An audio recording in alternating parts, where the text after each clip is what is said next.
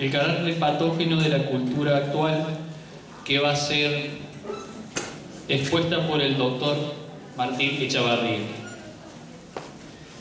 El doctor Martín Echavarría es primeramente licenciado en Psicología con diploma de honor por la Facultad de Filosofía y Letras de la Pontificia Universidad Católica Argentina.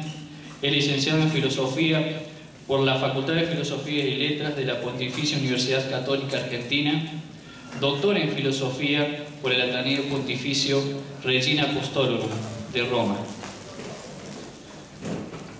Actualmente es vicedecano de la Facultad de Humanidades en la Universidad Católica de La Plata. En la misma universidad se desempeña como director del Departamento Superior de Filosofía, director en la licenciatura en Psicología, profesor titular en las asignaturas Psicología General y Teorías y Sistemas Psicológicos, uno de la licenciatura en Psicología. Además, desde el 2003 hasta el 2010, el doctor Martín Echavarría ha sido director del Departamento de Psicología de la Universidad de Abad Oliva, Seu, Barcelona. Ha publicado, entre otros eh, artículos y libros, Corrientes de Psicología Contemporánea, de Aristóteles a Freud, Historia filosófica de la psicología, vida y espiritualidad, la praxis de la psicología y sus niveles epistemológicos según Santo Tomás de Aquino. Lo recibimos con un fuerte aplauso.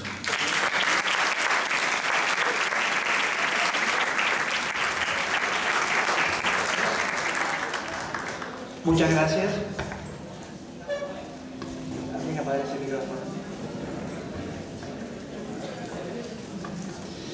Muchas gracias por la invitación eh, y por el inmerecido honor de hablar después del doctor Caturelli. Este doctor Caturelli y el doctor Caponeto. ¿eh? Eh, lo cual para mí es un honor, pero al mismo tiempo motivo de complejo de inferioridad. Mm, muy bien, ustedes me disculparán que gran parte de mi conferencia voy a leerla.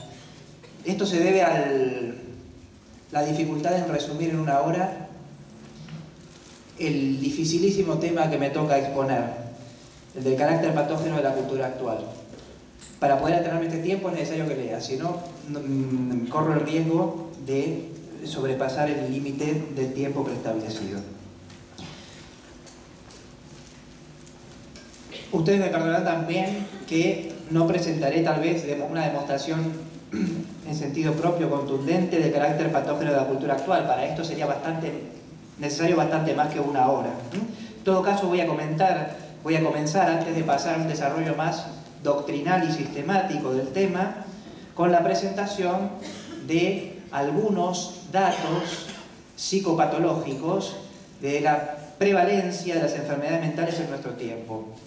Los datos que voy a dar en general están obtenidos de mm, organizaciones oficiales en Estados Unidos, por lo tanto, son datos válidos especialmente para Estados Unidos. Ustedes ya saben que las estadísticas en Argentina son difícilmente confiables, por lo cual, eh, y, las, estadísticas del resto de los países son semejantes a las de Estados Unidos, por lo cual yo tomaré como referencia las estadísticas de Estados Unidos, que en todo caso, al ser la referencia cultural de nuestro tiempo, sociocultural de nuestro tiempo, de alguna manera se pueden traspolar a nuestra situación. Trataré de resumir estos datos porque mi escrito ocupa varias páginas, pero mi señora me dijo que iba a ser muy aburrido, por lo cual daré algunos datos los más esenciales para que se tenga presente la situación triste en cuanto a psicopatología se refiere de nuestra eh, sociedad actual. En general, la prevalencia de los trastornos mentales en la población estadounidense adulta es del 26,2%. Es decir, que el 26,2% de la población adulta de Estados Unidos padece algún trastorno mental, de los cuales 22,3% grave.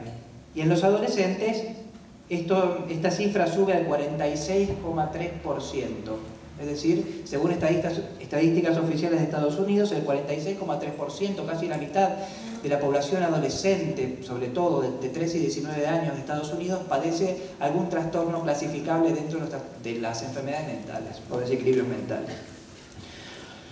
Los trastornos de la personalidad en Estados Unidos tienen una prevalencia del 9,1%. Esto quiere decir que en torno al 10%, en otros países es entre el 10 y el 13%.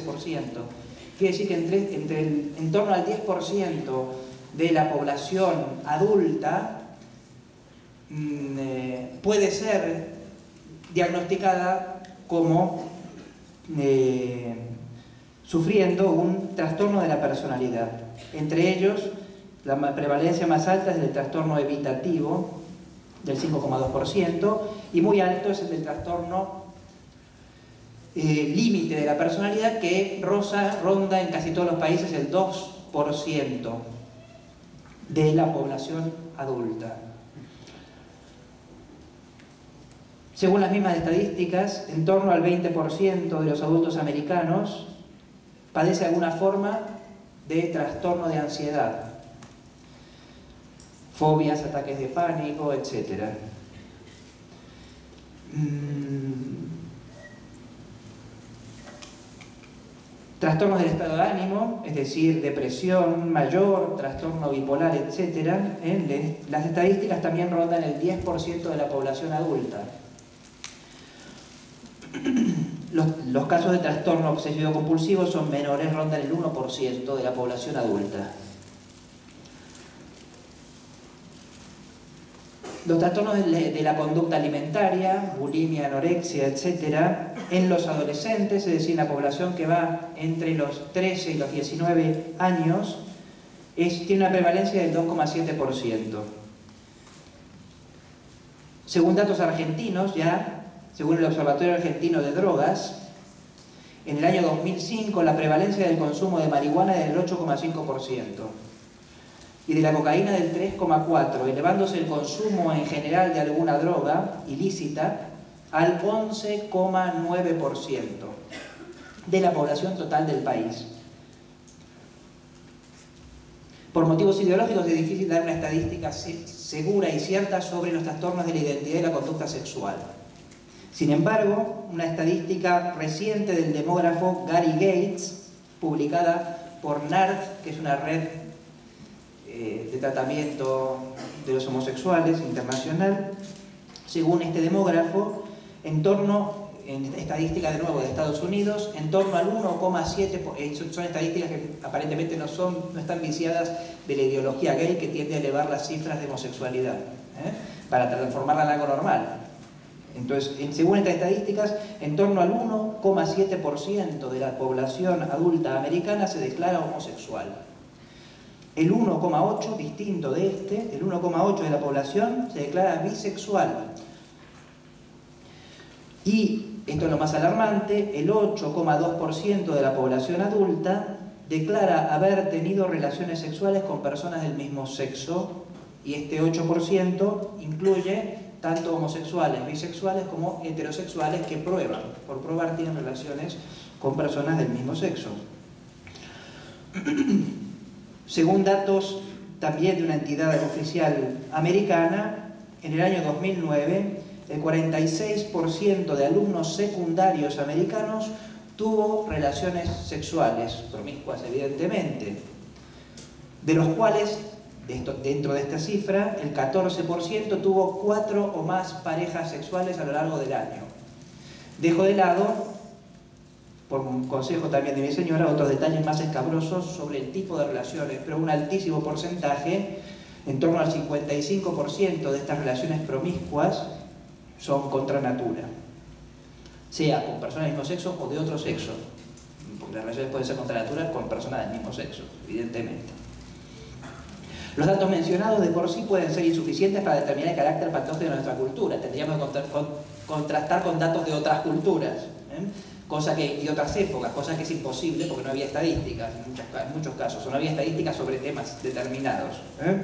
En todo caso es indicativo de cómo estamos, suponiendo que la cultura influye de alguna manera partiendo de este principio, sobre determinadas patologías mentales, sea en su causación, sea en su incremento, por lo menos, facilitación, etc. En todo caso remarco los datos más importantes. Uno, más de un cuarto de la población adulta y casi la mitad de los adolescentes padece algún trastorno mental según estas estadísticas. Estadísticas inglesas dicen que uno de cada cuatro adultos padece un trastorno mental. ¿eh? Estadísticas británicas.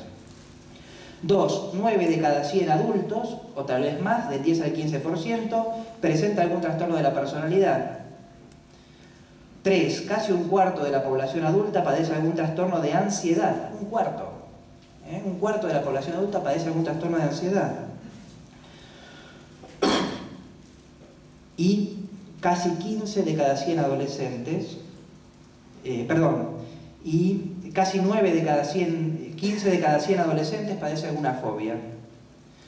4. 9 de cada 100 adultos y 15 de cada 100 adolescentes padecen algún trastorno del estado de ánimo. 5. Casi 3 de cada 100 adolescentes sufren algún trastorno de la conducta alimentaria. 6. En torno al 3,5% de la población adulta presenta alguna conducta homosexual o bisexual. 3,5%. Pero más preocupante todavía, decía antes, son las cifras de heterosexuales, en torno al 4,7%, que tienen relaciones eh, homosexuales para probar.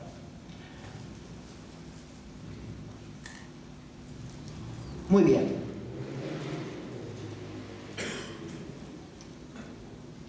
Si atendemos estos datos estadísticos, así como la experiencia cotidiana, tanto de los expertos como de cualquiera cada día, hay algunos trastornos que parecen característicos de nuestra cultura. Ansiedad, depresión, trastornos de la identidad y la conducta sexual, a lo que se suman la altísima eh, prevalencia de trastornos de la personalidad y especialmente uno al que voy a dedicar unas líneas por ser poco conocido, no por ser el más importante. Los trastornos de ansiedad también son los más importantes. ¿eh? Porque hoy tiene ansiedad la gente en el trabajo, en las empresas, gente que no tiene necesariamente rasgos patológicos desde el punto de vista caracterológico. Gente en las empresas, en los colegios, bajas, bajas escolares de, maestros por ansiedad, trastorno de estado de ánimo, etc. Me voy a detener en el trastorno límite de la personalidad, que según muchos teóricos es un trastorno característico de nuestro tiempo por motivos que voy a desarrollar a continuación. Muchos teóricos cada vez más sostienen que este trastorno es característico de la sociedad posmoderna y es, por lo menos, si no causado, eh, facilitado por las condiciones de nuestra sociedad actual. La incidencia de los trastornos de, otros trastornos de la personalidad, como el vimos el evitativo, es tal vez más alta, pero es antigua, vieja, quiero decir, ya Freud hablaba de estos trastornos, quiero decir. ¿eh? Mientras que este trastorno límite de la personalidad parece un fenómeno nuevo. Hay autores que sostienen que entre el 30 y el 60% de los trastornos de la personalidad diagnosticados son trastornos límite de la personalidad. Y además es la experiencia eh, de muchos, experiencia cada vez creciente, porque yo he hablado con muchos de ellos, lo además de serlo yo mismo, ¿eh? especialistas en salud mental que observan que cada vez más reciben personas con este tipo de personalidad, entre 30 y 60%. El trastorno límite de la personalidad es un trastorno que se caracteriza por los siguientes rasgos. Inestabilidad emocional e impulsividad variabilidad del humor con periodos depresivos y periodos de excitación cercanos a la manía, problemas de identidad, entre ellos identidad sexual, relaciones interpersonales que oscilan entre la idealización y la denigración, sentimientos crónicos de vacío, episodios disociativos en situaciones de estrés, conductas autodestructivas, autolesiones, incisiones, intentos de suicidio, etc., conductas compulsivas y adictivas altamente peligrosas, sexualidad promiscua, consumo de drogas y alcohol, conducta temeraria, compras compulsivas, etc. Por eso los especialistas en psicopatología dicen que es uno de los trastornos de la personalidad con más comorbilidad. Es decir, que muchas veces cuando en clínica uno se encuentra con una persona que tiene ansiedad, o que tiene un trastorno de la conducta alimentaria, o que tiene una fobia, o que tiene una obsesión, o que tiene una drogodependencia, o que presenta eh, algún otro trastorno, detrás de este trastorno hay una estructura de la personalidad que es esta. Una persona con problemas de identidad, una persona con problemas de inestabilidad emocional, de impulsividad, de desequilibrio en el humor. Aunque algunos señalan que este trastorno presupone una predisposición biológica, hay importantes indicios de una causalidad psicosocial. Estos indicios tienen que ver con una, signos de importantes disfunciones de la relación con sus padres y con otras figuras adultas de autoridad. En particular, y cito un especialista, la posible separación o pérdida parental, una implicación parental alterada y abuso físico, psicológico o sexual durante la infancia. Y de hecho, entre, el 40 y el 71% de estas personas presentan eh, una historia de abuso sexual.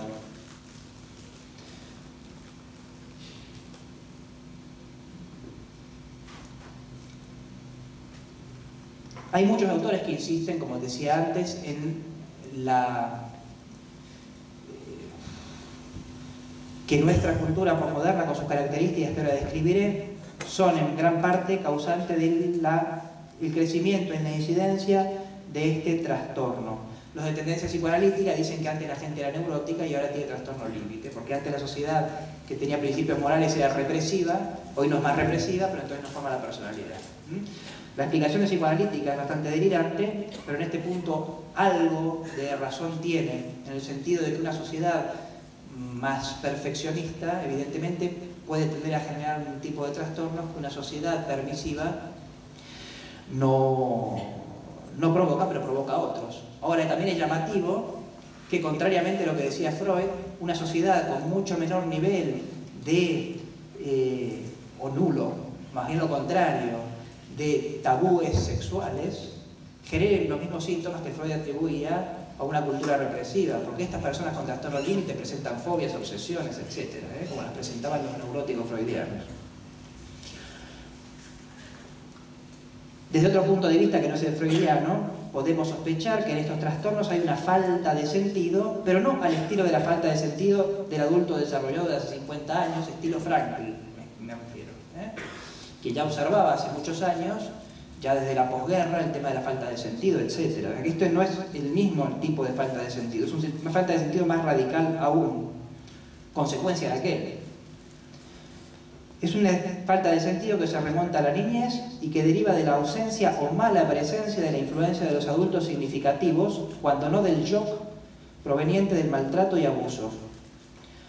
Esto lleva a la instauración temprana de disposiciones afectivas de huida impulsiva a través de la inmersión en el presente, pues nadie puede vivir en un perpetuo vacío interior, lo que mina las bases para la adquisición de las disposiciones que conducirán en el futuro a la templanza y por lo tanto a una vida dirigida por la razón y que es capaz de sortear la atracción que para nuestra dimensión sensitiva suponen los estímulos del momento presente.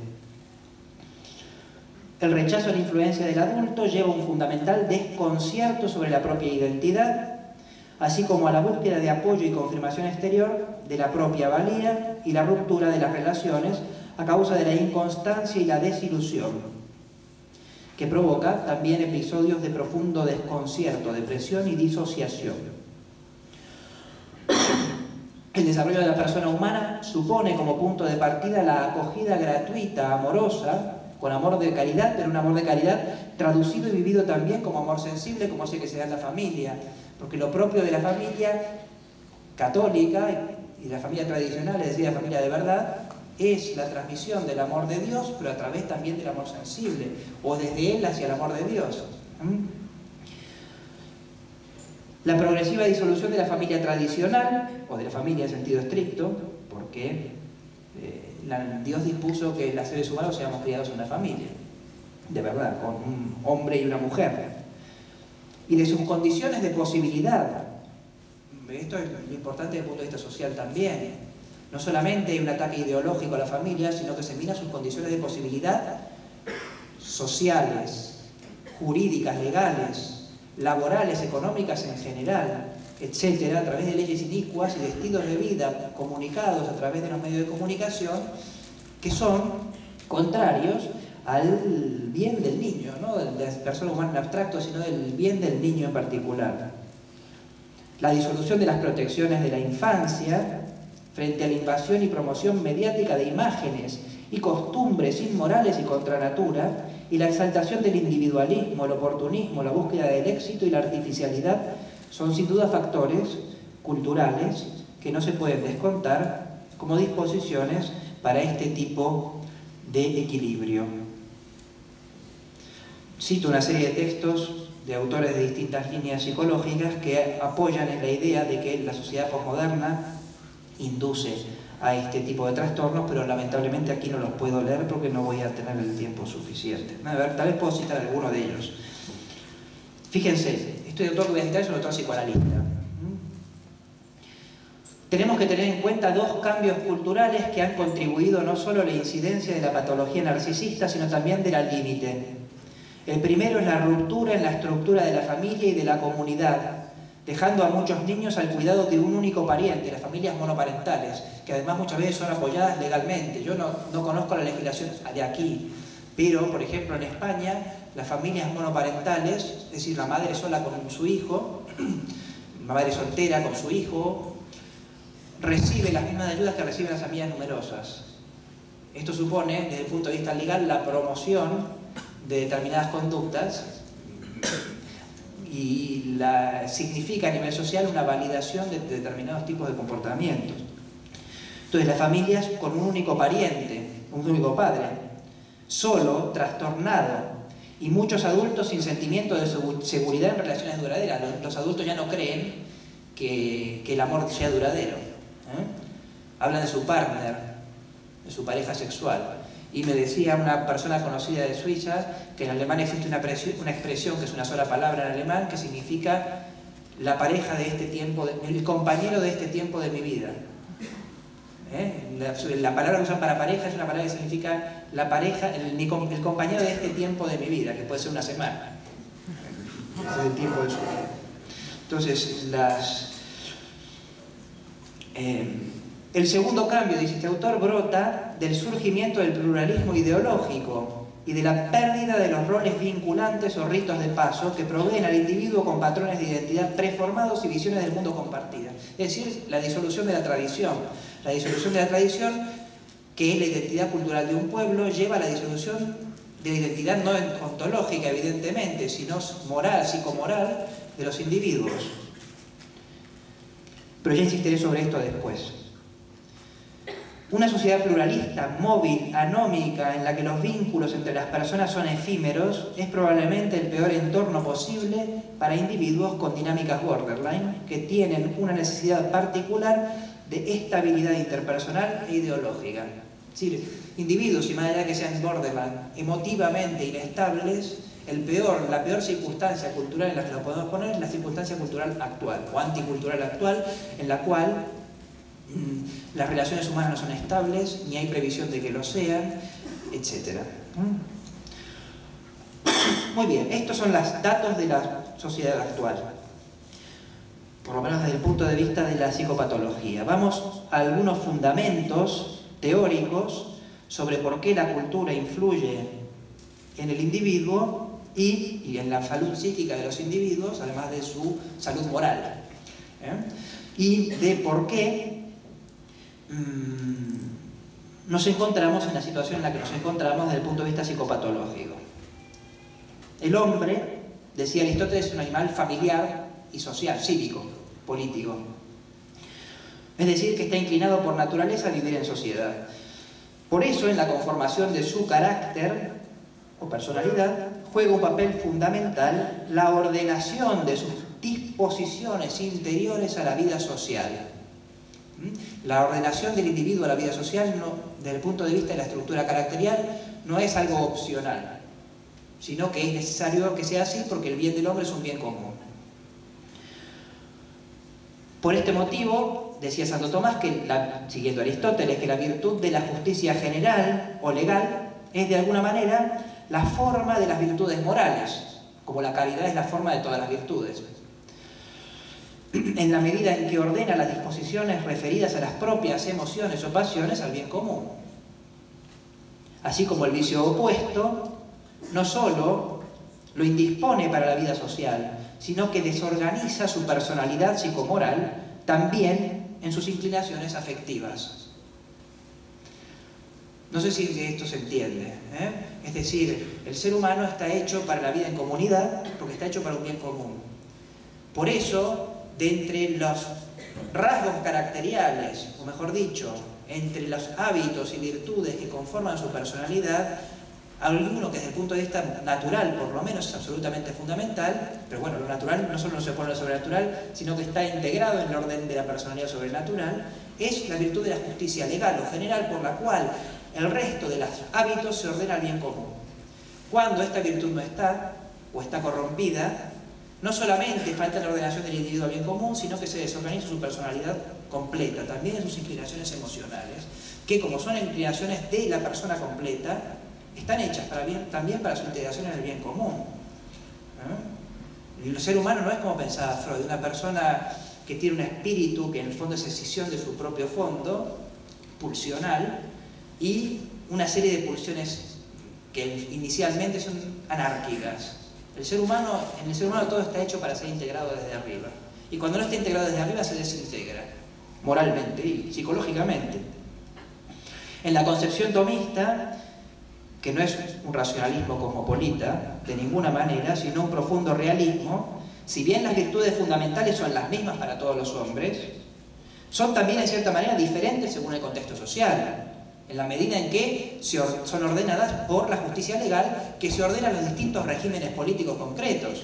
De aquí la influencia de los regímenes políticos, injustos en particular en lo que vamos a ver ahora, sobre la configuración de las personalidades. Y esto es así porque el ser humano es un individuo concreto situado históricamente, además de tener un espíritu que está abierto a lo universal. Aquellas exigencias que emanan directa o próximamente de la naturaleza humana y expresadas sintéticamente en el decálogo son comunes a todo el género humano, pero todo el conjunto de detalles que regulan la vida humana en concreto, que depende de las leyes y también de las costumbres, que son otra forma de leyes,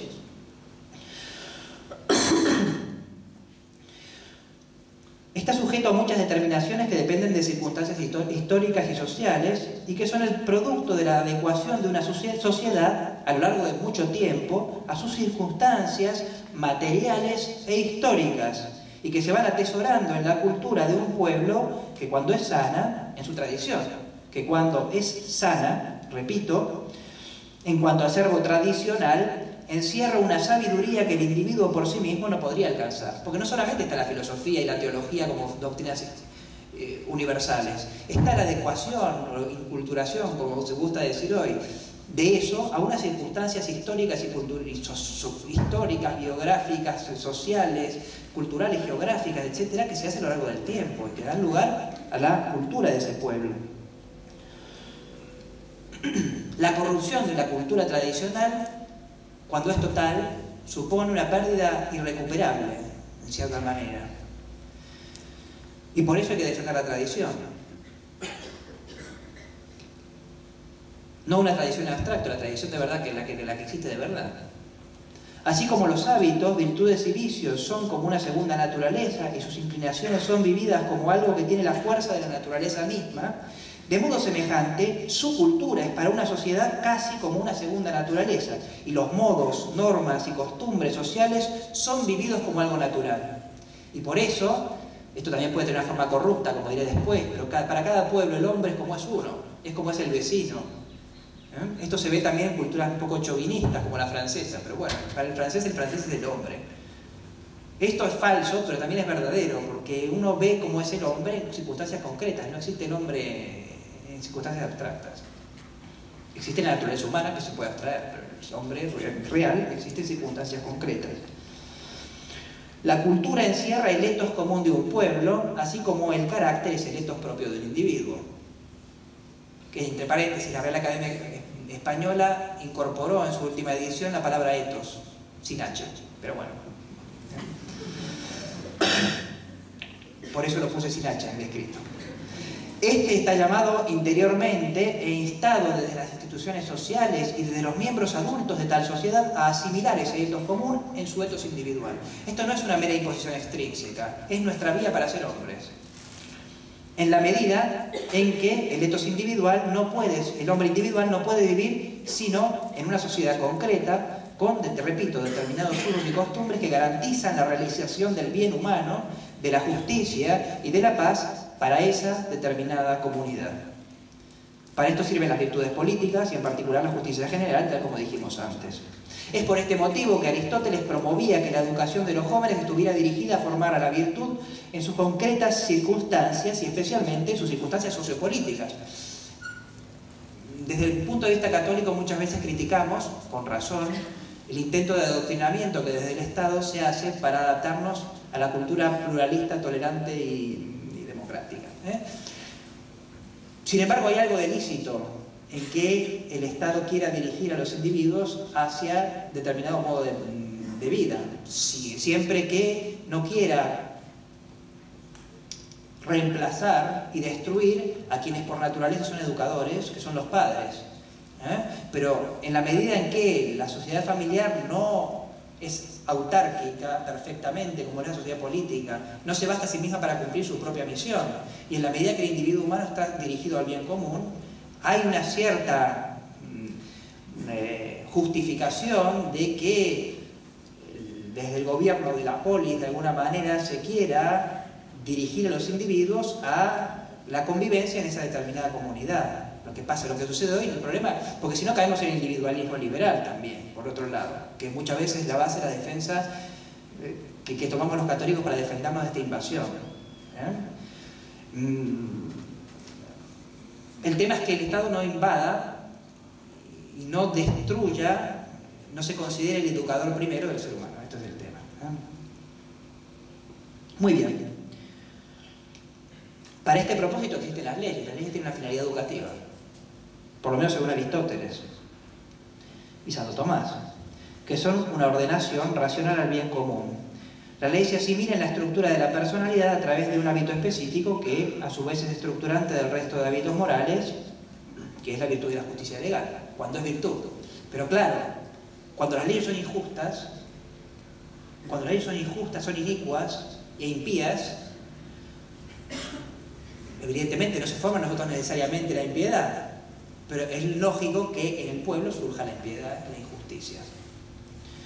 Ya dentro de un régimen político justo, es decir, orientado al bien común, por leyes racionales, es decir, acordes a la naturaleza humana y a su concreta e histórica constitución, es decir, no a, a una constitución impuesta en modo externo a su cultura y tradición, sino su real y auténtica constitución histórica y tradicional, promulgadas por las autoridades justas, una persona puede apartarse de la ley y desarrollar una personalidad en desacuerdo con la ley. Aunque nosotros vivíamos en medio de la cristiandad en el sentido mejor del término, pues hay gente mala, puede haber gente mala. es, claro, porque el ser humano es libre. Pero una cultura puede enfermar moralmente también. Y por eso puede ser fuente de patología moral y de desequilibrio psíquico, porque la disolución de la moral lleva a la disolución también de las disposiciones Mm, inferiores, psicosensitivas. Porque el ser humano lo sensitivo está hecho para ser asumido desde lo racional, para ser racional por participación. No está escindido totalmente del orden racional. Hay continuidad entre ambos órdenes porque la vida sensitiva está hecha para servir a la vida racional. Esta enfermedad social puede tomar varias formas, de las que destaco dos simplemente. A, y a veces se combinan. A. La esclerosis de una cultura originalmente sana. B. La autodestrucción cultural de una sociedad.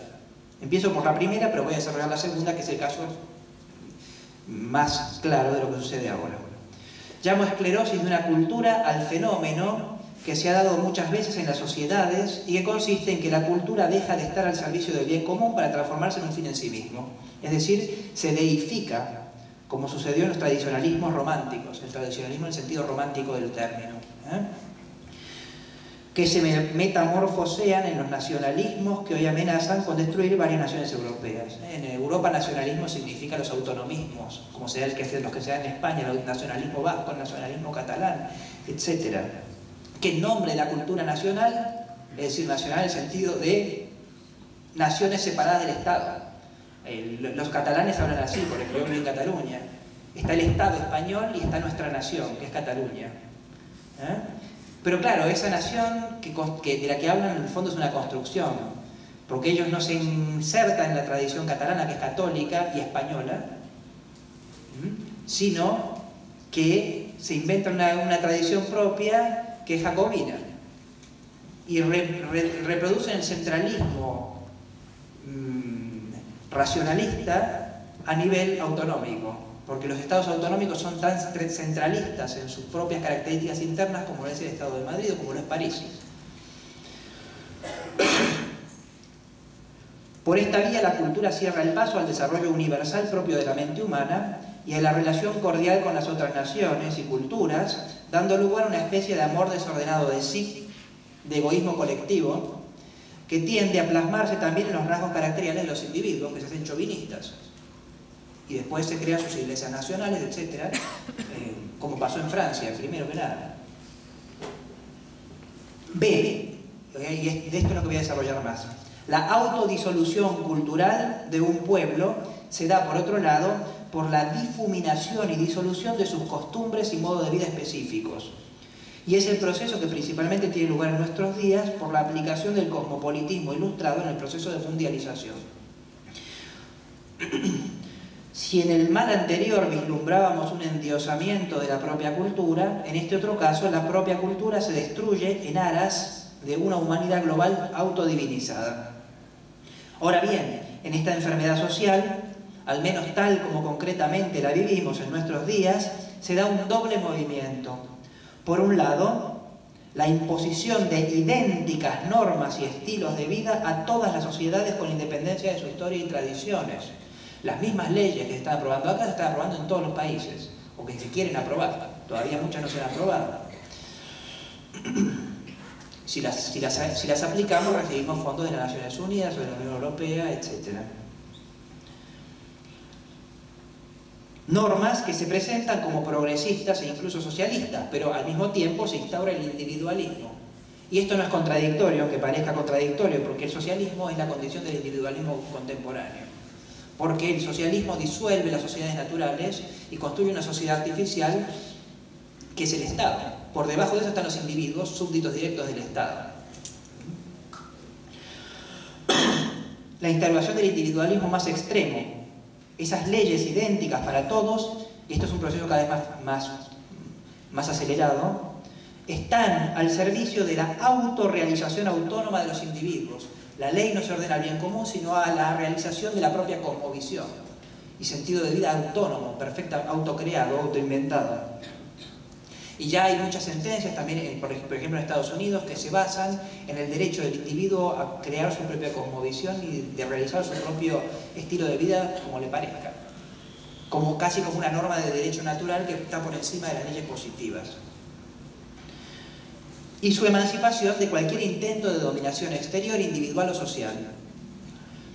Con esta limpieza de toda característica cultural particular, son barridos en Occidente el cristianismo, como religión supuestamente meramente cultural, que por eso, que por ahora digo, es hostilmente tolerada, y los preceptos de la moral natural también son barridos, identificados como meros productos culturales de otra etapa de Occidente. Este último mal, que es el que estamos padeciendo, se nutre filosóficamente de las fuentes de la filosofía inmanentista moderna y posmoderna, mejor tardo-moderna, porque la posmodernidad es la realización última, por lo menos hasta el momento, de la, del proyecto moderno.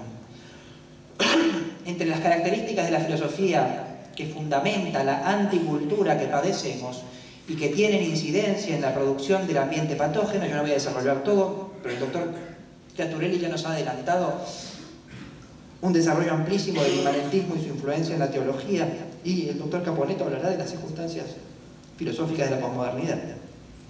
Y sin ánimo de ser exhaustivos, podríamos mencionar las siguientes características de esta cultura esta, o esta filosofía de esta cultura que están conectadas entre sí. Uno, que parecen muy abstractas, pero que son muy concretas en sus resultados después. A. La concepción del ser como devenir.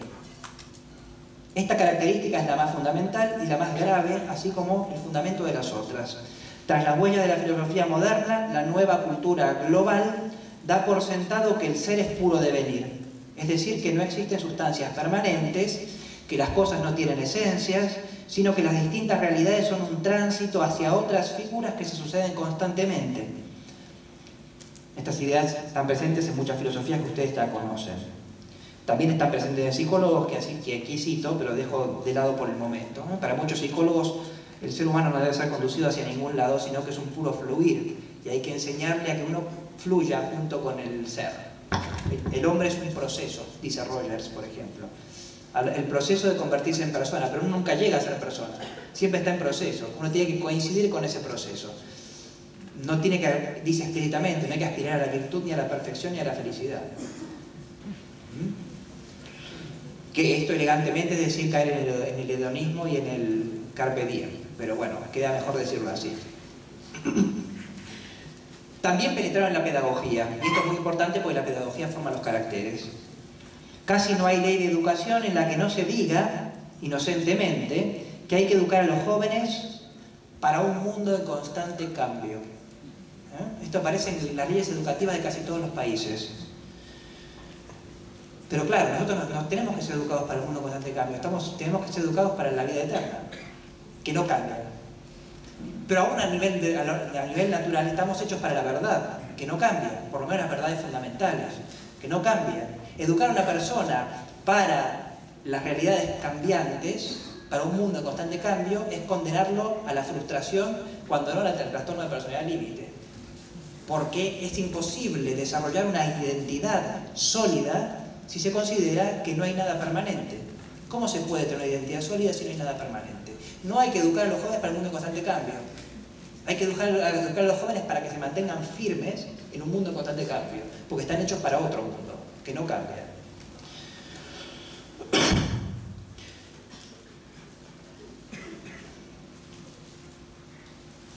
B. Progresismo antiautoritario. El, el género humano está en constante progreso hacia lo mejor. Se titula una obra de Kant. Esta creencia característica de la ilustración se mantiene todavía hoy, a pesar de que somos posmodernos a pesar de la experiencia individual de frustración y fracaso también. Y se piensa que la historia tiene unas leyes inexorables que no se pueden parar. Va a ganar Cristina, no se puede parar. La historia lleva hacia esa dirección. El ser humano no puede, ni individuo, ni las sociedades intermedias, etcétera, no podemos hacer nada. Como estamos convencidos de esto inconscientemente, este es el gran mal de la actuación política de los cristianos que estamos a la defensiva y no, estamos a la ofensiva. Nosotros tenemos que ir a exigir nuestras leyes. No estar esperando cuál va a ser la próxima con la que nos van a dar un palo en la cabeza. Porque ahí vamos a... Es como, en un partido de fútbol que uno está esperando eh, que, que no le metan goles. Al final te meten el gol. Hay que ir a la ofensiva, hay que atacar. Luchar el buen combate. Esto lleva a una desvalorización de los modos tradicionales de comportarse. Eh, perdón, esto afecta el espíritu de las leyes, que parecería que no solo deben, cambiar con frecuencia, sino que deben hacerse cada vez más progresistas. Ahora tenemos esta, pero después va a venir la otra. ¿eh? Esto lleva a una desvalorización de los modos tradicionales de comportarse y desde el punto de vista de la educación a un desprecio de la autoridad de los mayores, que necesariamente están más retrasados que las nuevas generaciones. De aquí viene el precepto de la nueva educación que consiste no en aprender contenido, sino en aprender a aprender que también aparece en todas las leyes de educación. Porque la ciencia y la moral están en constante revisión. Por eso lo importante es aprender a adaptarse a los cambios, no aprender contenidos que pronto serán caducos. Por eso en España, no sé cómo es acá, porque no me he familiarizado todavía, pero uno puede pasar de curso con cuatro asignaturas pendientes. Si demostró que globalmente se ha adaptado. ¿Eh? Y por eso a veces gente que no siquiera, ni siquiera tiene una titulación universitaria triunfa en la vida profesional, mientras que la gente capacitada no triunfa en la vida profesional. Lo importante es aprender a adaptarse a los cambios, no aprender contenidos que pronto serán caducos. Por eso los mayores, los maestros deben, ser, deben estar actualizándose constantemente, no solo porque sus instrumentos técnicos están retrasados, sino porque lo que está desfasado es su concepción del mundo. Y por eso la vida académica, tanto a nivel escolar como a nivel universitario, es cada vez más estresante y es cada vez menos académica. Esto lleva a una desvalorización de la autoridad y a un democratismo según el cual toda autoridad es necesariamente autoritaria e ilegítima. Esto procede en gran parte de una errónea concepción de la autoridad. Autoritas, como todos ustedes saben, procede del verbo augeo, que significa hacer nacer, hacer crecer, desarrollar. En este sentido, la primera autoridad son los padres, que son los que hacen nacer y crecer en virtud de la misma naturaleza de la paternidad y del matrimonio. Sobre este tema no me puedo extender, pero es un tema que, sobre el que tenemos que profundizar, es absolutamente fundamental. La autoridad primera y el educador primero son los padres por naturaleza, porque el matrimonio por su naturaleza está orientado a la procreación humana, que implica no solamente la transmisión de la vida biológica, sino también la, la transmisión de la vida moral, es decir, la conformación de la virtud de los hijos. Por eso los padres son la primera autoridad y son los primeros educadores. Y toda autoridad, en la medida en que es autoridad, y todo educador, en la medida en que es eh, educador, participa en algo de la paternidad, carácter de padre. Y cuando las autoridades no quieren ser padres, dejan de ser autoridades y hacen mal. Una verdadera autoridad es una autoridad que hace perfeccionarse, que conduce a la perfección, que hace crecer, para ser autoridad es en cierto modo necesario ser un padre, alguien que hace nacer y crecer. Y lo propio del padre es ejercer esta autoridad en bien del hijo, no de sí mismo. si no, no es autoridad. Lo propio de la autoridad es hacer crecer a otro, porque uno ya está crecido, si no, no es autoridad. Para hacer crecer es necesario ser adulto. La palabra latina adultus es el participio pasado de adolesco, que significa crecer, no adolecer. El adolescente es uno que está creciendo. ¿eh? Adultos es el que ya creció. ¿eh? adolescens es participio presente de adolesco, que significa el que está creciendo. ¿eh? Por lo tanto, ambos derivan, adulto y adolescente derivan del mismo verbo que es crecer. Adulto es el que ya creció, adolescente es el que todavía está, está creciendo. Por eso, la persona de 35 o 40 años que no crece, no es adolescente. El síndrome de Peter Pan no es adolescente, porque no crece, no está creciendo. ¿eh? no está creciendo, está atrofiado. Solo quien ya ha crecido puede ser autoridad, es decir, ayudar a, ayuda a crecer. Por eso nuestras autoridades actuales, que son, no son adolescentes, sino que son Peter Panes, no, hacen crecer. ¿eh? La autoritas se, define de se distingue de la potestas, del poder. El poder separado de la autoridad, es decir, de la capacidad y la intención de hacer crecer, se transforma en violencia y en tiranía. Y aquí surge la falsa dialéctica entre una derecha autoritaria en el sentido de violenta y una izquierda pacifista y progresista. Y que nadie se quiera definir como de derecha. Hoy no hay un solo partido de derecha. Nadie es de derecha. Reutemann no es de derecha, Macri no es de derecha, nadie. ¿eh? Los otros lo definen de derecha, porque decir derecha es decir violencia, autoritarismo. Por lo mismo, nadie quiere asumir un rol paternal educativo, de guía positiva, de conducción, como si el guiar fuera necesariamente violentar y no, como debe ser, ayudar a crecer. Y en esto tienen mala conciencia, porque de hecho lo hacen, pero para su bien propio. Utilizan el poder para su bien propio, pero no quieren aparecer como haciéndolo porque piensan que, eso, que la autoridad es el poder. El progresismo lleva al mito de la eterna adolescencia, la gente no quiere crecer, entre otras cosas, porque no cree en la perfección y porque piensa que lo juvenil es siempre superior a lo maduro. De este modo los padres no ejercen la autoridad, etc. El progresismo lleva también al darwinismo social. El que no evoluciona se queda por el camino. Esto se experimenta cada día en todos los ámbitos laborales. El trabajo es una vorágine de actividad en la que en general la cantidad de trabajo no produce, resultados en proporción semejante a los esfuerzos. Yo tengo la experiencia de la universidad en, España de estar elaborando constantemente proyectos, etcétera, que nunca llegan a ejecución. Uno puede estar dos tres meses elaborando un proyecto de investigación, elaborando másters, etcétera, que nunca se ejecutan, pero a los cuales uno dedica casi toda la jornada laboral, más que a estudiar y enseñar. Etcétera. De aquí siguen un montón de problemas también de salud, como el síndrome del burnout, el estrés, etcétera. En fin, no voy a entrar en eso. C. Inmanentismo la concepción según la cual solo existe este mundo, es decir, que no hay Dios trascendente y creador, encierra la vida humana en su periplo mundano. El horizonte último de la vida es la muerte. Tener como perspectiva la muerte, por optimistas que seamos, por temperamento, no es un horizonte demasiado alentador. Si uno era optimista cuando era joven, ya no lo es más cuando es viejo. D. Relativismo. El relativismo se funda en el escepticismo, que es una doctrina cuasi oficial de nuestra cultura. En las leyes educativas, por ejemplo universitarias, se pone que hay que dar una visión pluralista desde muchos puntos de vista. No hay una verdad objetiva, sino que cada uno tiene su verdad, es decir, que cada uno está condenado a ver el mundo desde una perspectiva determinada que es la suya, lo que Nietzsche, llamaba el perspectivismo. Y esta perspectiva hace que ese conocimiento no pueda tener pretensión de verdad, de universalidad. Por eso no se puede afirmar que hay verdades absolutas y consiguientemente modos de vida objetivamente buenos y objetivamente malos.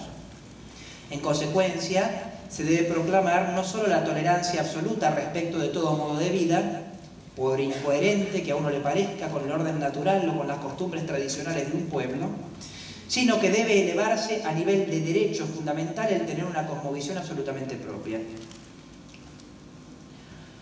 Finalmente, sintetizo las últimas características que, me quedan, porque quiero, tengo, que, ir terminando y quiero llevar a la aplicación al tema que nos ocupa.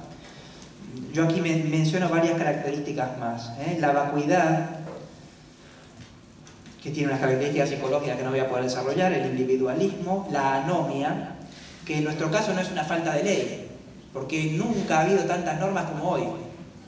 Hoy se legisla constantemente porque hay un poder legislativo que trabaja de hacer normas. Por lo cual, el progreso necesario de este sistema político es a que cada vez haya más normas. ¿eh? O reformamos las viejas o creamos nuevas. ¿Mm? Por lo cual, nunca hubo tantas normas como hoy, positivas. ¿eh? Pero nunca hubo tanta anomia porque las leyes son inicuas. Y eso también es una forma de anomia, no solo la falta de normas, sino la falta de normas justas, que es, mejor, digo, es mejor la anarquía que la, presencia de normas injustas, porque las normas injustas nos conducen a un determinado estilo de vida. Tanto la enfermedad corporal como el desorden moral son disposiciones contra la naturaleza. No es extraño que una sociedad artificial construida de espaldas al orden natural y a la tradición de un pueblo conlleve el desequilibrio contra la naturaleza, al menos en el orden anímico. Santo Tomás señalaba, voy a tener que desarrollar esto brevemente, que el desorden anímico puede ser de dos tipos, siempre contra natura, contra la naturaleza de lo que es específico del hombre en cuanto es hombre, que es su razón, y tenemos entonces el vicio humano, como lo llamaba Aristóteles, o contra la disposición del hombre en cuanto es animal, es decir, contra sus disposiciones de orden sensitivo, que es el vicio bestial o patológico, enfermizo, como lo llamaba Aristóteles. En ese, en ese contexto, Aristóteles encerraba un montón de las que hoy llamaríamos, los que llamaríamos trastornos psíquicos, desórdenes específicos del nivel psicosensitivo, ¿eh? que enseñaba Aristóteles, salteó todas las citas que había puesto. Según Aristóteles pueden tener tres causas. ¿eh? En Santo Tomás a, este, ahora veremos este desorden, le aplica un nombre que a mí me interesa. ¿eh? Pero pueden tener tres causas. Una complexión corporal mala, una mala constitución, la enfermedad en el sentido estricto, la enfermedad orgánica, o las malas costumbres, y San Tomás tiene una frase que dice así, brava consuetudo es quasi queda magritudo animales. Es decir, la mala costumbre es casi como una enfermedad animal. Y animal aquí significa psíquica en el sentido del nivel psicosensitivo del ser humano. Este desorden de este nivel psicosensitivo puede ser por una enfermedad, por una mala constitución o por malas costumbres. Ahora bien, Aristóteles ya decía, pero yo voy a citar a Santo Tomás, que las malas costumbres pueden tener como causa las malas leyes. Y esto en los dos niveles, tanto a nivel del vicio humano, es decir, del desorden moral en el sentido más propio del término, como a nivel de estas, de estos, de estas animales, ¿no? estas enfermedades animales psíquicas. Empiezo por lo que se refiere a el desorden moral, porque aquí los textos de Santo Tomás son más explícitos y son muy elocuentes de lo que pasa hoy. Cito un texto que está tomado del Derregno de Santo Tomás y dice lo siguiente. Es un texto un poquito largo, pero permítanme que lo lea completo. Porque es muy, lamentablemente, es muy ilustrativo de nuestra situación actual. Yo veo aquí reflejado mucho de lo que nos pasa. Puesto que el tirano, rechazado el bien común, propio del, del tirano es buscar el bien particular, busca su bien privado, se sigue que oprima a sus súbditos de muchas maneras, según que está sujeto a diversas pasiones por conseguir algún bien. Quien tiene la pasión de la codicia roba el bien de sus súbditos. Por ello dice Salomón, el rey justo endereza la tierra, el hombre avaro la destruye. Si está sujeto a la pasión de la iracundia, derrama sangre por nada, por lo que dice Ezequiel. Sus príncipes están en medio de ellos como lobos que capturan su presa para derramar sangre. De este modo no habrá ninguna seguridad, sino que cuando nos separamos del derecho, todo es incierto. Ni se puede asegurar nada que dependa de la voluntad de otro, no digamos ya de su capricho. Cuando estamos sujetos al capricho del otro, no se puede predecir nada. ¿Qué va a pasar de acá a dos meses en Argentina? No sabemos. Depende de muchos caprichos. Por eso todo es inseguro. Y no solo en lo corporal oprime a sus súbditos, sino también impide sus bienes espirituales, el tirano. El tirano impide los bienes espirituales de su pueblo, porque quienes quieren prevalecer, más que servir, impiden todo progreso de sus súbditos, sospechando que cualquier excelencia de sus súbditos va en detrimento de su inicua dominación. Toda persona que destaca es peligrosa para el tirano, por eso el tirano no promueve la virtud. pues para el tirano son más sospechosos los buenos que los malos, y siempre les parece peligrosa la virtud ajena. Los tiranos procuran que sus súbditos, que llegaron a ser virtuosos, tampoco desarrollen un espíritu de magnanimidad y que no dañen su inicua dominación, y que entre sus súbditos no se consolide una relación de amistad. Los tiranos no quieren que haya asociaciones, ni que gocen mutuamente de la ventaja de la paz el tirano busca la guerra, la enemistad, la oposición. La, filosofía política del tirano es la de la oposición en la sociedad, la contraposición.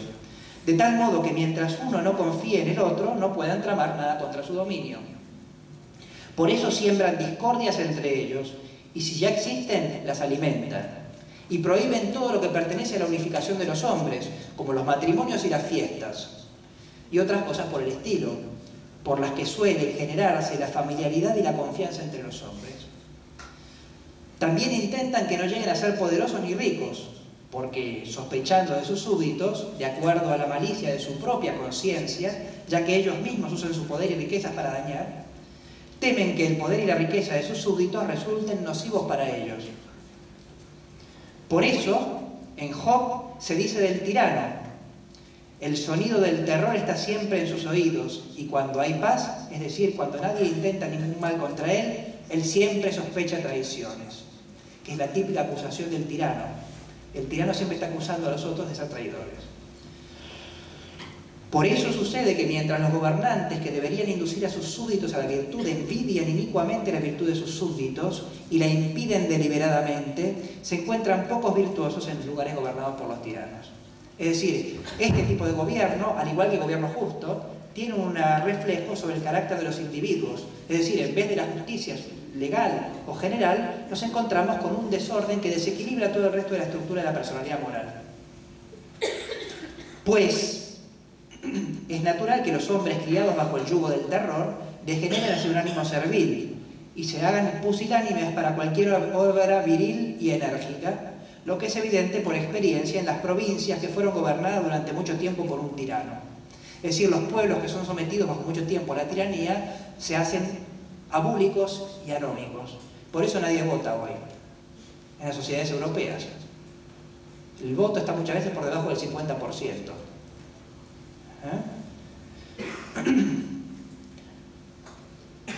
Pero bueno, estos malos gobiernos, además de producir el desorden moral, la, injusticia en sus súbditos, pueden producir desequilibrios peores.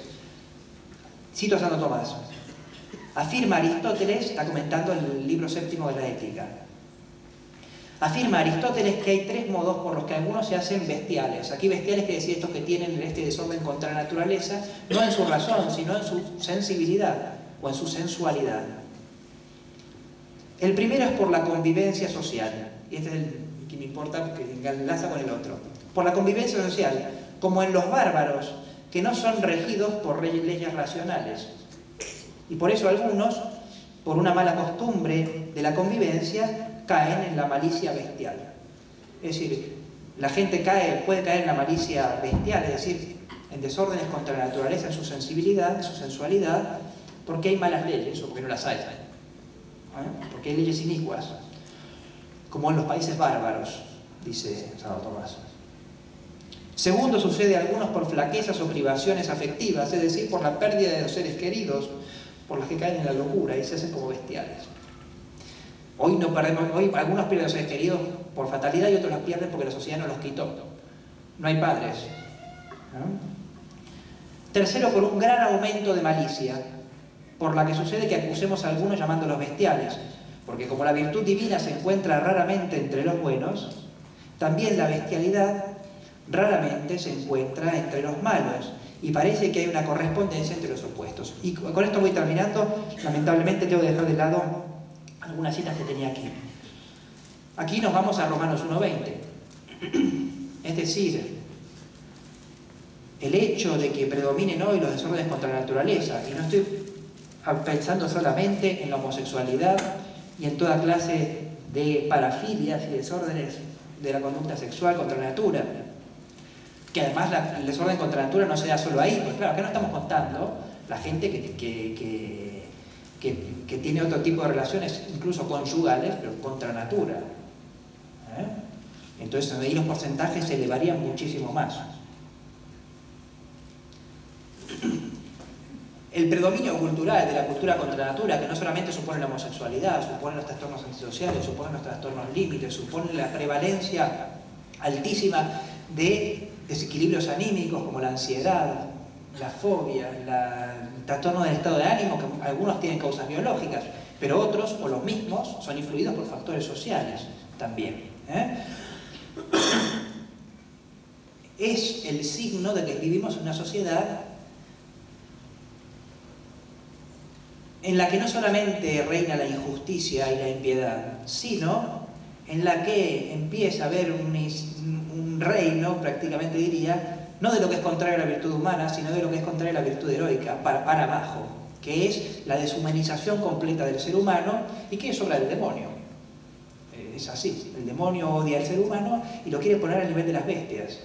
El ser humano tiene una parte espiritual por la que se puede elevar a Dios y una parte animal que está hecha para integrarse espiritualmente o, está hecha para tirar todo para abajo. O mejor dicho, no está hecha para eso, pero puede conducir a eso. ¿eh? Con esto que quiero decir, con esto termino y de alguna manera invado lo que tendría que decir en la, mesa siguiente. Nosotros hacemos muy bien con promover iniciativas que defiendan, que defiendan el orden natural, la familia particularmente, como decía recién, a nivel político y a nivel de otras, a otros niveles. ¿eh? pero bueno, político en el sentido amplio del término, no partidista, y a nivel filosófico, etc. Pero hoy esa no es la solución, esa es la defensa. Siempre lo fue, pero hoy más que nunca. Hoy la solución es la virtud heroica. Si no promovemos en nuestros jóvenes y en nosotros mismos el desarrollo de la virtud heroica, que viene de Dios, que no viene de nosotros, por eso es heroica, es divina, porque viene de Dios, tenemos la batalla perdida contra una guerra en la que el hombre se ha animalizado por causas naturales y por causas preternaturales también. El combate principal se libra a nivel sobrenatural. Es ese nivel que tenemos que fortalecer y desde ese nivel, y viviendo desde ese nivel, incidir en nosotros, evidentemente, también. ¿Mm? Bueno, con esto yo termino.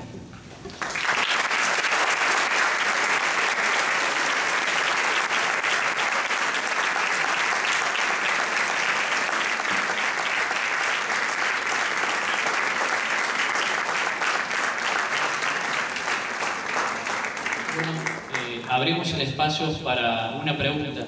Quien desee realizarla, por favor, levante la mano. Yo quisiera saber mi tono de respuesta del doctor Carpelli que tenía un tema para profundizar, que no pudo, no pudo, no pudo hacer. Todo caso, yo lo pido porque después en la mesa de otros.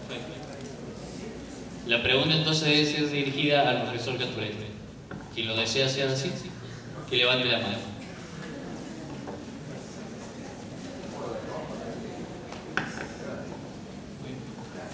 Bueno, bueno, parece que ha habido una conveniencia aquí, se deja todas las, preguntas para la, para la mesa excelentísima que tendremos dentro de unos minutos.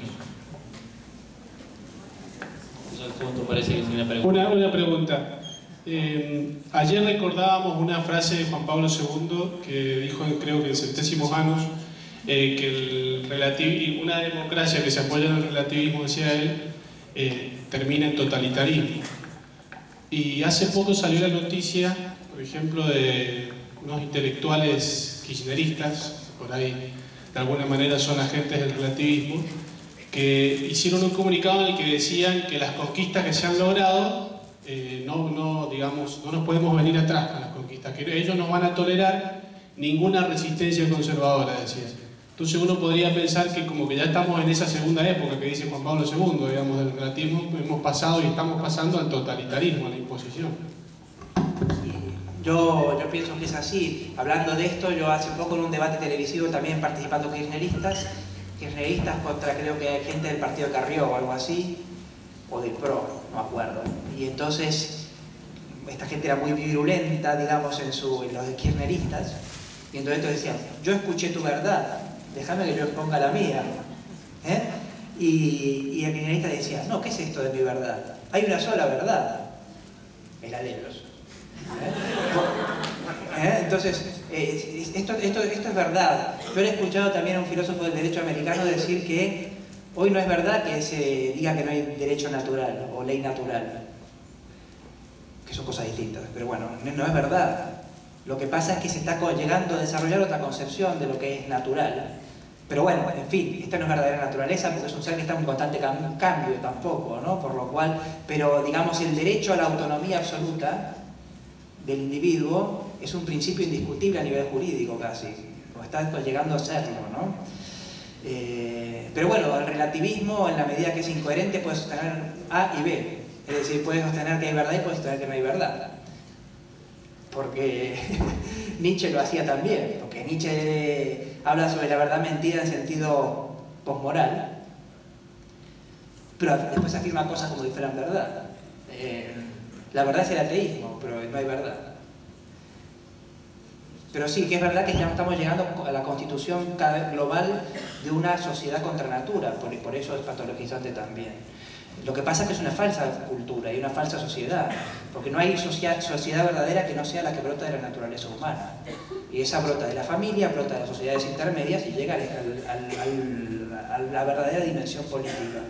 Y si esto no está, no es verdadera sociedad, es una imposición de modelos culturales que destruyen la naturaleza humana, por lo menos en aspectos operativos.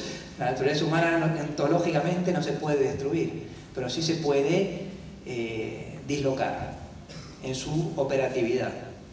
Y eso es lo que vivimos hoy.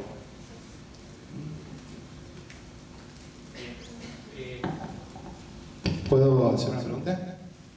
Eh, doctor, eh, ahí veo muchos jóvenes acá y a veces uno en contacto con los jóvenes eh, se da cuenta y conoce muchas realidades. Estamos inmersos en una sociedad, como usted decía, muy cambiante que nos impone esta manera de, aceptar que todo cambia.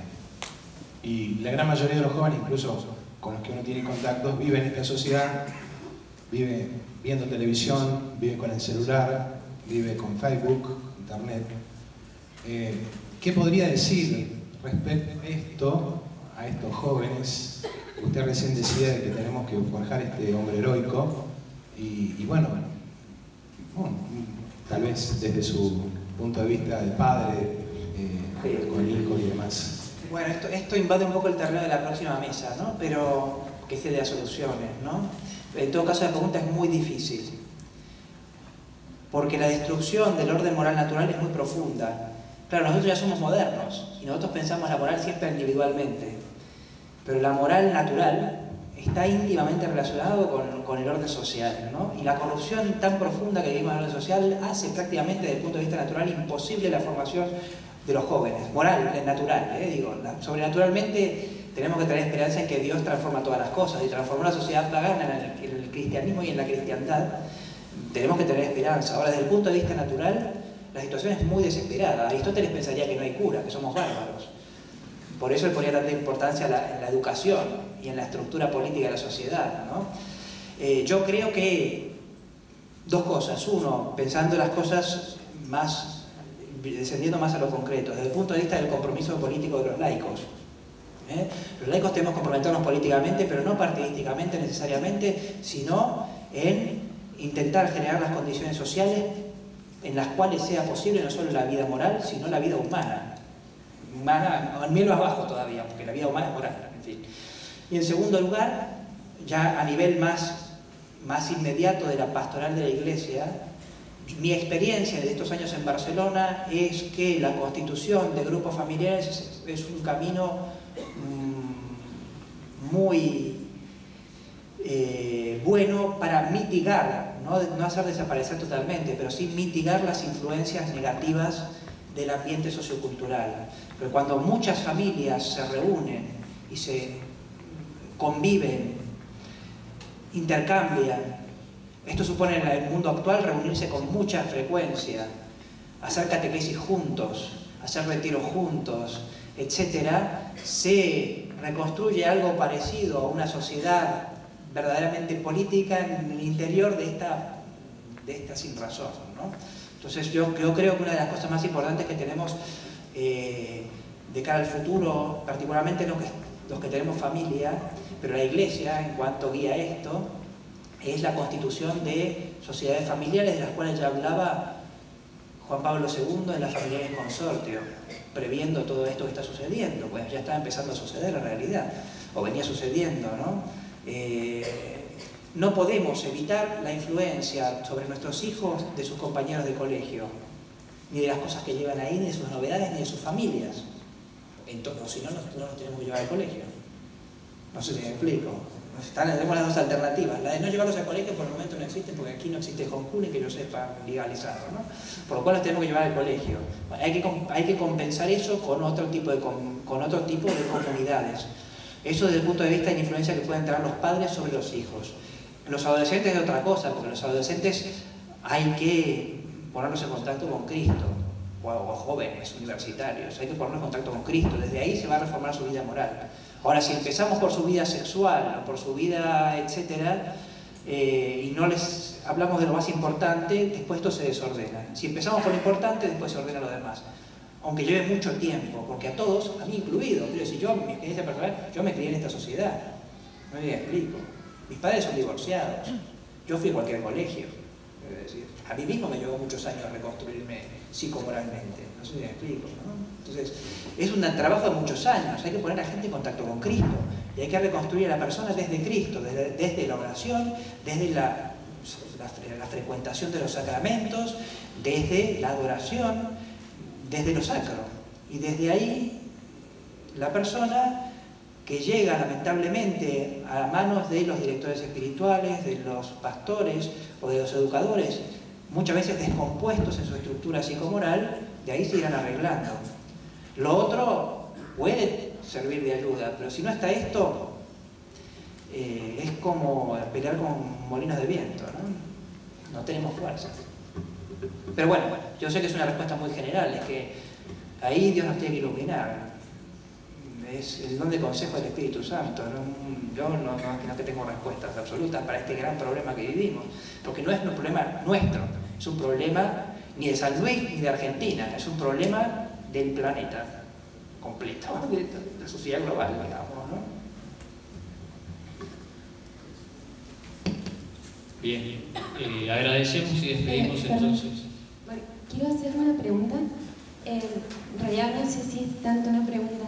Eh, yo estoy estudiando ciencia y la educación en la provincia de Mendoza y bueno, me tiene bastante preocupada eh, la- esta caracterización que usted hizo eh, sobre la educación es tal cual, yo lo veo en las materias que nos hacen estudiar, que mm, hablando con, con otros chicos que también estudian, eh, nos están volviendo locos porque son un desastre, Em, pero es como que mm, eh, me parece que desde la educación también tenemos que hacer algo, porque si no, o sea, más allá de, de- nuestro lugar dentro de la iglesia como un apostolado, ¿no es cierto?, de formar estas pequeñas comunidades, eh, por ahí también tenemos que tratar de movernos en un ámbito más social dentro de la escuela, que es donde de una manera distinta también tenemos que ejercer eh, alguna manera de apostolado.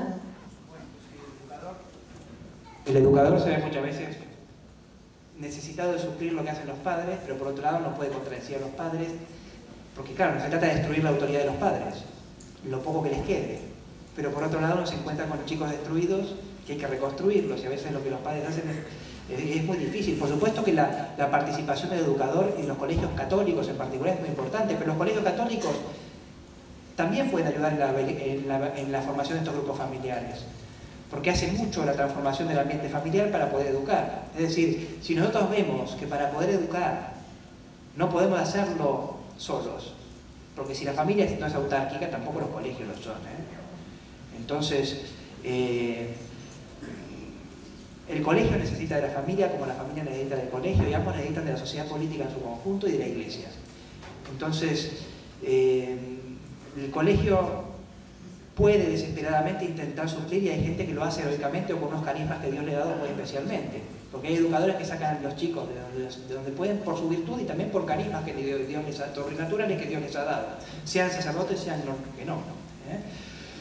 Mm, Pero la familia tiene que trabajar, los colegios tienen que tratar de involucrar a las familias en la educación, pero no a la manera en que se trata hoy. Porque claro, hoy en, en Chile se firmó un pacto por el cual la familia se compromete a la educación de sus hijos. Y eso es comprometerse a lo que tiene que hacer por naturaleza. No es que nosotros estamos para ayudar al Estado, el Estado está para ayudarnos a nosotros a educar a nuestros hijos. Entonces, eh, los, eh, el colegio tiene que ser un ámbito también de evangelización de los padres, de reunión de las familias y de recuperación para la vida de la fe de muchas familias que están alejadas de la fe. Entonces hay que tratar de integrar a las familias en las dinámicas de los colegios, pero no para que ayuden al colegio, ¿sí? para que les compremos el mapa, les ayudemos a hacer los deberes cosas por el estilo. Sino porque la educación es una cosa de la familia y el colegio no puede no trabajar conjuntamente con la familia. Entonces, una vía por, tal vez esto, es decir, tratar de evangelizar a las familias también desde los colegios, porque desde las parroquias es muy difícil porque no van, pero el colegio está. Y hay muchos colegios católicos. Lo que pasa que también, esto pasa desde el punto de vista político, si los colegios católicos nos plantamos, a ver si pueden hacer lo que... Esto, esto pasa en España también, los colegios católicos están corrompidos, pero si ellos se plantaran, es decir, nosotros cerramos, ustedes no nos dejan, nos obligan a dar educación para la ciudadanía, no sé qué, no sé qué otra cosa más. El Estado tendría que poner tanto dinero que no colapsaría el sistema educativo. Entonces, eh, hay que aprovechar. Los colegios católicos son muchos, aunque lamentablemente los que lo son de verdad no lo son. Pero en todo caso yo creo que tal vez un intento de, y hablo desde quien no es educador en el sentido de escolar del término, porque yo estoy en la universidad. Soy padre, en el colegio no estoy, ¿no? Eh, yo creo que hay que tratar de integrar a las familias eh, en- ya que no se las puede hacer desde las parroquias, se lo puede hacer desde los colegios, tal vez. Hay que tener muchos talentos, carismas y, virtudes, ¿no? ¿Alguna otra pregunta? Nada más. Seguramente muchas de las preguntas que tienen ahora se van a responder en la próxima mesa panel que, que estará el doctor Echevarría, Caturelli y Caponetti. Ahora bien, le damos eh, un fuerte aplauso para...